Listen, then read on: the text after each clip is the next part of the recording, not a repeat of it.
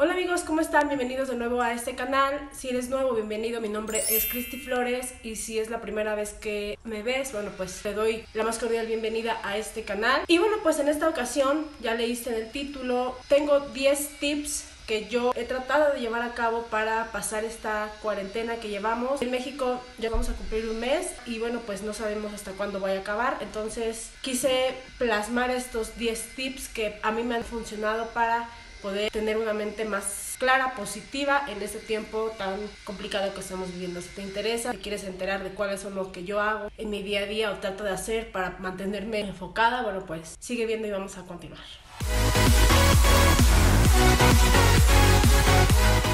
La verdad es que no lo había pensado tal cual los 10 tips hasta hace rato, que aquí les voy a enseñar mi cuadernito que pues me senté, analicé bien lo que estoy tratando de hacer en mi casa con mi familia para poder tener esta cuarentena pues lo más tranquila, normal, amena dentro de lo que cabe, pues no salir enloquecida, ¿no? De este tiempo. La verdad es que como mamá, si tú eres mamá me podrás comprender que se vuelve un poco complicado y una tarea algo pesada el tener a tus hijos todo el tiempo en casa y aparte pues tener homeschool, pues se vuelve un poco complicado y a veces te puede sacar de tus casillas. Pero bueno, pues he tratado de mantener mi mente enfocada, positiva y tranquila, lo cual, bueno, no ha, resultado fácil. Por eso fue que plasmé estos 10 tips que a mí me han ayudado mucho y que yo quiero compartir. No los voy a mencionar en orden de importancia, ya tú sabrás si tú los llevas a cabo y en qué medida. El número uno es no dejes de hacer ejercicio. Para mí el ejercicio se ha vuelto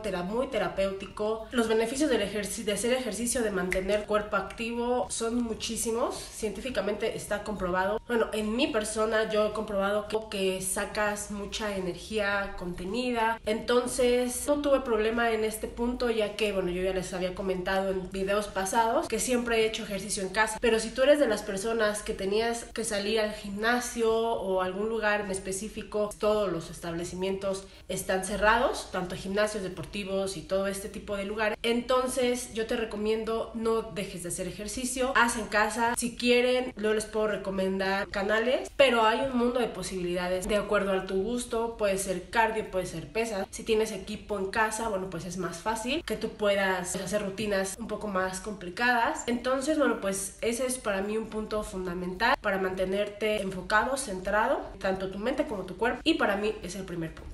El segundo punto es aliméntate lo más saludable o lo más normal posible. Si tú ya eras una persona que comía de una forma muy saludable, balanceada, equilibrada, de acuerdo a tu régimen que estés siguiendo, no te desenfoques, no caigas en la tentación de como estás en casa, estás un poquito más inactivo, vamos a decirlo de alguna forma, pues caigas en la tentación de comer por estrés o por ansiedad. Yo si era una persona y de repente me encuentro todavía como que pellizcándole a alguna comida por ansiedad, pero ya sinceramente casi no. Pero para mí sí ha sido muy importante el tratar de mantenerme dentro de lo que cabe, porque bueno, pues obviamente con niños en casa, pues como mamá sabemos que siempre estamos buscando para mantenerlos un poquito más entretenidos o pues hacerle más ameno, ¿no? Las situaciones que se están, se están pasando en el mundo. Entonces, si vas a hacer eso, bueno, trata de darles a tus hijos lo más saludable, frutas, verduras, con algún chilito, o de vez en cuando si puede ser a lo mejor que algo juntos. Por ejemplo, el día de hoy que estoy grabando este video, planeo que hagamos una receta en familia y bueno, pues puede ser un tiempo padre compartiendo con tus hijos, pero tratar siempre mantenerte enfocada lo que es tu objetivo, en lo que ha sido por mucho tiempo, como es en mi caso, el, el hábito o el objetivo de estar comiendo lo más saludable posible. Yo sé que a veces es complicado, pero trata de mantenerte enfocado. Yo creo que para mí ese es el segundo punto y muy importante. El número tres sería mantén tu mente activa.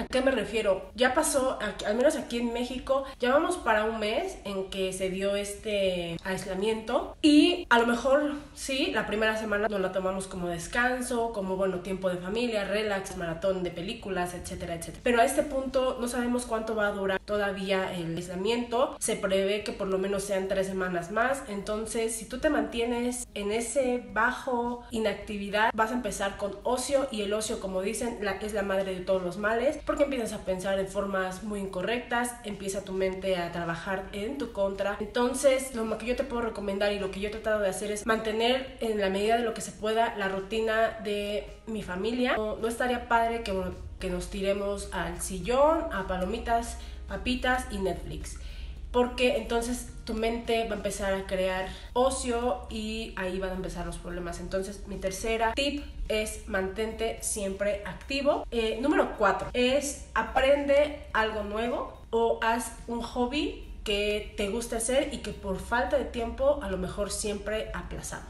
Aprende algo nuevo, no sé, por ejemplo, si quieres aprender a tejer, a pintar, a a maquillarte y bueno, ese es el momento adecuado para, para lanzarnos a hacer eso que por falta de tiempo no nos habíamos atrevido a hacer o no habíamos tenido el chance de hacer. La número 5 y también importante es depura y organiza tus espacios. ¿A qué me refiero? Normalmente con la rutina, el ajetreo de la vida, vamos acumulando cosas que a lo mejor al principio no nos damos cuenta, pero que cuando tú te sientas a depurar o a organizar tu espacio, nos podemos dar cuenta que hemos acumulado muchísimas cosas que a lo mejor no nos servían. También este es el momento ideal para organizar tu espacio en tu closet, el de tus hijos, tu alacena. Bueno, hay mil cosas que podemos organizar y depurar. Y creo que va a ser muy terapéutico. Vas a sacar todo lo que está ocupando espacio y vas a darle chance para que pueda entrar nuevas cosas. Y también a esto me refiero a cosas no solamente tangibles, sino intangibles en tus pensamientos, en tus sentimientos, en tus emociones. Creo que es momento para poder analizarnos, para organizarnos nosotros mismos, para componernos nosotros mismos para depurar aquellas cosas que no nos están haciendo nada bien, tanto físicamente como internamente. Para mí sería importante también ese punto. Número 6 no te enfoques en las malas noticias y mantén una mente positiva. No estoy diciendo con esto y no, y no me malentiendan que no estemos informados de la situación. Yo sí me informo, o sea, sé las noticias más importantes, pero no me, no me clavo en eso ni me engancho en eso. Porque puede resultar un poco en contra de ti el estar siempre viendo las malas noticias. Y basta con hacer este examen personal. Prendes a la televisión o algún noticiero y créeme que el 99.9% de las cosas que vas a ver ahí son desgracias, malas noticias y voluntaria o involuntariamente eso nos afecta en nuestras emociones, en nuestros pensamientos, porque obviamente llenamos de, nuestra mente y nuestros sentimientos y nuestras emociones de cosas negativas, las cuales si no estamos enfocados a ver lo positivo de esto, nos puede jugar una mala jugada. Entonces yo te recomendaría, mantente informado, a lo mejor dedícale, no sé, 10, 15 minutos para ver las nuevas noticias, pero no te claves, porque de verdad va a ser mucho más beneficioso el que sepas las cosas, seas una persona consciente y prevenido, pero no que entremos en pánico como mucha gente entró, en donde gracias a eso entramos en desabasto. No estoy diciendo con eso y no quiero sonar negligente, que no nos cuidemos, que no seamos personas responsables de nuestra salud y de nuestras acciones. Claro que lo tenemos que ser, pero siempre con una mente clara y una mente centrada y enfocada que me esté dando a entender, pero bueno, para mí sería eso, mantener una mente positiva y pues saquemos lo mejor de esto. Número 7 para mí sería ser agradecido. ¿A qué me refiero? En este momento creo que tenemos que sentar, analizar lo, y dar gracias a Dios, al universo, en lo que tú creas. Yo en mi caso, bueno, yo, yo creo en Dios y yo le doy gracias a Dios porque tengo a mi familia, tanto a mi familia cercana, digo, me refiero a mi esposo y a mis hijos, los que viven conmigo, pero también a mi familia extendida, que son mis padres, son mis hermanos, mis cuñados, mis suegros, mis tíos, mis primos, toda la gente que yo sé que hasta el momento, gracias a Dios, no han, no han habido percances. Entonces creo que es momento de ser agradecido, de decir gracias Dios porque tengo la posibilidad de tener una casa en donde resguardarme, porque tengo la posibilidad de tener alimentos que, que, puedo comer. Tengo la posibilidad de tener a mi familia, que es lo más importante, y los tengo conmigo. Sí, a veces estamos en, enclaustrados, pero gracias. Dar gracias por lo que tenemos y también inclusive dar gracias por lo que no tenemos aún. Eso yo creo que nos mantiene con una mente muy enfocada en saber que hay gente que de verdad la está pasando mal y nosotros, si tú me estás viendo, lo más seguro es que estés en tu casa o que tengas un dispositivo, cualquiera que este sea, y no estemos en una situación tan devastadora como mucha gente lo está pasando. Entonces, creo que es muy bueno ser agradecido y, y, pues sí, dar gracias por lo que tenemos y por lo que no tenemos también. Eso es un punto importante para mí al menos. El número 8 para mí sería tener una dualidad entre flexibilidad e inflexibilidad. ¿A qué me refiero con esto? Antes de que todo esto pasara, que me conocen pueden saber que yo tengo alarmas para absolutamente todo, tengo una rutina muy establecida, la cual a mí me funciona, la verdad, y no me da pena decirlo que sí soy muy cuadriculada en ese sentido. Eso me ha ayudado a poder cumplir con absolutamente todas las cosas que tengo que hacer. Pero en este momento que nuestra vida se revolucionó totalmente en cuanto a rutinas, a situaciones que a lo mejor nos, a nosotros nos hacían sentir cómodos, te puedes estresar un poco. A mí me pasa, no sé si haya gente que le pasa igual. Entonces, a mí me ha ayudado ser un poco flexible, pero dentro de todo sí mantener una rutina. Esta dualidad que les comento entre ser flexibles y ser inflexibles, creo que puede ayudar porque a lo mejor me refiero a ser flexibles en que a lo mejor tu, rutina va a cambiar un poco y tienes que moverte con, el, con lo que estamos pasando, pero también que no te vayas al extremo de que, bueno, entonces no tengas organización, no tengas una forma de llevar tu día a día y que a lo mejor perdamos mucho tiempo en cosas que no nos traen nada productivo. Por ejemplo, yo me cachaba a mí misma a lo mejor agarrando el teléfono por más de media hora y sinceramente, bueno, perdí ese tiempo muy valioso que pude haber organizado mejor para poder hacer algo más productivo. Como, por ejemplo, aprender algo nuevo o dedicarle cierto tiempo a algo más valioso e importante. El número 9 es tener momentos de descanso para ti, para tu crecimiento personal. ¿A qué me refiero con eso? Si eres mamá, sabrás, suele costar mucho trabajo el tener a nuestros hijos todo el tiempo en casa. Porque, bueno, pues involucra, en México, por ejemplo, fue el homeschool, al menos en donde yo vivo, nos mandaron actividades, muchas actividades, que tenían que ellos trabajar durante las semanas que no estaban yendo a clase. Es para nosotras como mamás, pues una piedrita más al costal de actividades que ya teníamos y que tenemos que, que hacer ahora. Aparte de, bueno, mantener el orden, la casa, los alimentos, eh, rutina de ejercicio. Entonces creo que es importante y no es egoísta que cada persona de la familia tener momentos de descanso. Si por ejemplo a ti te gusta pintarte las uñas o leer un buen libro, eh, dibujar, pintar, maquillarte, no, no perdamos eso. Puedes decir, pero si no, me voy a maquillar para no salir a ningún lado. Pero créeme que te mantiene muy enfocada, en no caer en cierta depresión, de decir, bueno, pues no hago nada, entonces me mantengo todo el día en pijama, al cabo que ni voy a salir. Créeme que tu estado de ánimo cambia mucho cuando tú dices, bueno, me voy, me voy a bañar, me voy a arreglar y voy a hacer mis cosas y tratar de mantener lo más normal tu vida. Créeme que te va a mantener tu estado de ánimo muchísimo más alegre y positivo que si nos, perdón la palabra, nos tiramos a la basura y nos sentamos en un sillón nos bañamos en días y todo el día, todo el día en pijama. Creo que se vale, pero también creo que es el balance siempre es bueno y mantener ese tiempo y ese espacio personal. Si tu esposo, no sé, tiene algún hobby, darle su espacio.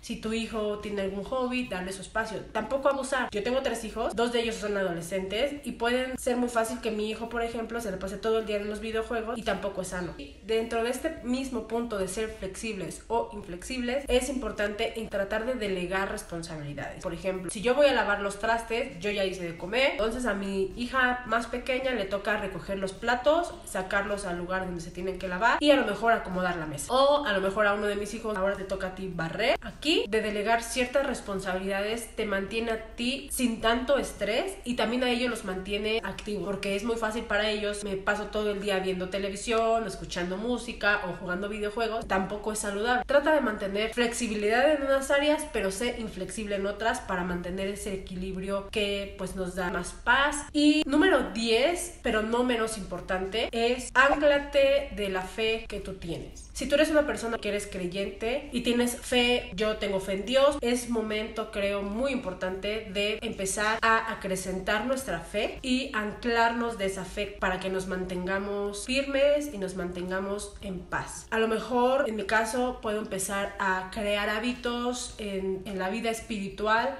como oración, tú le puedes llamar meditación, le puedes llamar rezo, no sé cómo tú lo conozcas, pero creo que es momento de poder empezar a crear esos hábitos espirituales que también nos benefician muchísimo como personas porque somos personas espirituales que necesitan crecer y alimentar ese espíritu. Entonces creo que es momento ideal porque dentro del caos y de toda la tempestad y todas las situaciones que se están suscitando, una persona que, que se ancla de su fe pues no se va a mover y va a ser más fácil mantener la calma y mantener la paz en medio de la tormenta. Entonces, si tú eres una persona creyente, yo te invito a que tú crezcas en tu fe, que tengas tiempos de oración, si algún tipo de música que te guste para poder hacer esto, bueno, pues te invito a que tú lo hagas y que experimentemos esa, esa calma en medio de la tormenta a través de estar conectados con nuestro Dios y poder recibir esa paz en medio de la tormenta. Y creo que es más importante que cualquier otra cosa el pues mantener nuestra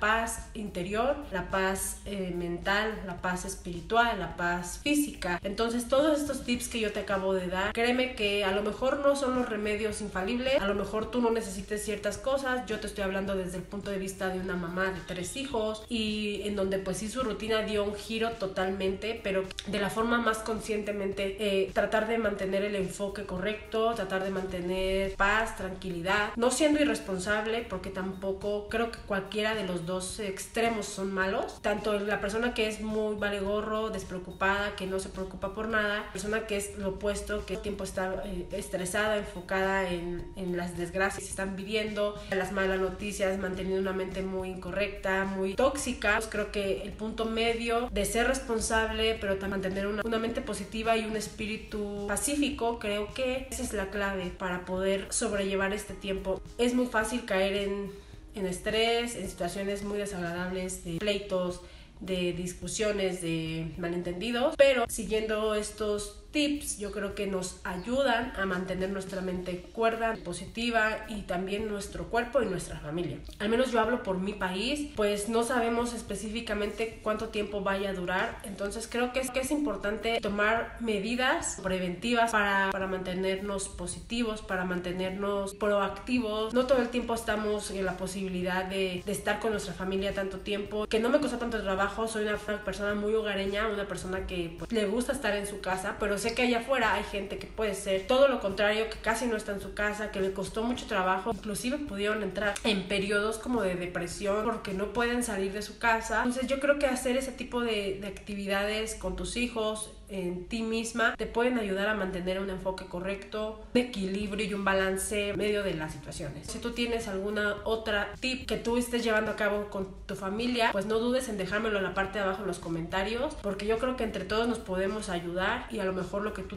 tú estás haciendo me puede ayudar también o puede ayudar a la gente que lo lea. Entonces, bueno, pues es importante mantenernos todos, pues cuidarnos responsablemente. Si tienes algún comentario, si tienes alguna idea de video, escríbeme en la, en la parte de abajo y yo con gusto voy a responderte y a leerte. Espero que, que estés bien, que tu familia esté bien en ese tiempo de, de caos podamos encontrar la paz en medio de esta tormenta, que yo estoy segura que no va a ser el fin y que vamos a salir adelante con la ayuda de Dios. Bueno, pues gracias por ver. Y si te gustó este video, bueno, pues ya sabes, regálame tu like y tu suscripción en la parte de abajo. Nos estamos viendo en otro video más. Que estés muy bien. Bye bye.